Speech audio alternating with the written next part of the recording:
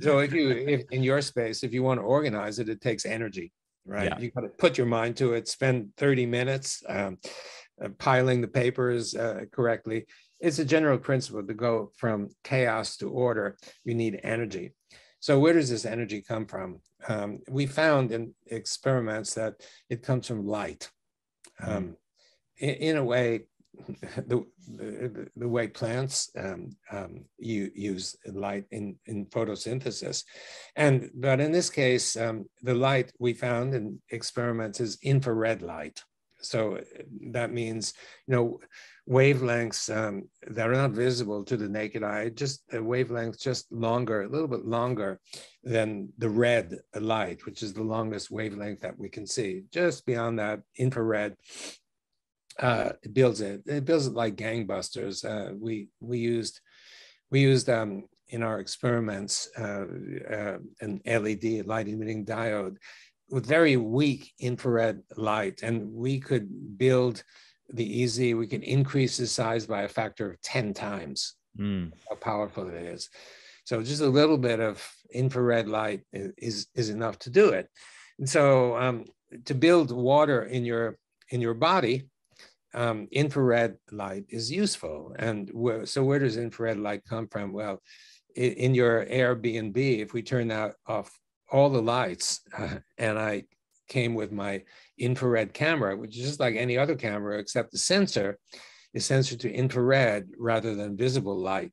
Um, I'd, I'd get a perfect image of you, your beard, the little gray spots on the sides, your microphone, and the picture on the wall, et cetera, et cetera so no no problem. It's all around us. And also since infrared is roughly equivalent not exactly the same as heat um, the metabolism that you're generating inside your your body is also giving rise to to that. So so there's plenty of infrared both outside and inside when in, in terms of um, um, of you and and this is necessary, uh, this, kind, this kind of energy. So one way, um, long introduction, is walk out in the sun.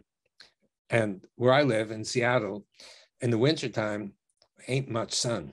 Um, lots of clouds um, in the winter. It's kind of gray and some people get depressed. However, you walk out in the sun and feel good. Um, you know, the sun will just peep through a hole in the clouds and and suddenly you feel better. And and this is pretty universal. And of course the the, the explanation is um, it must be some psychological effect um, and that that's reasonable and probable but there's another um, that is the infrared from the sun roughly half of the radiation from the sun is in the infrared wavelength. That's why it feels warm. Um, see so that penetrates your your skull, for example, into your brain, and and it should, if theory is right, it should build EZ water in the neurons in your brain, and you return to your default situation, which is feeling good instead of depressed. We don't get born feeling depressed. Um, so, so that's first thing you can do um, is uh, go out in the sun.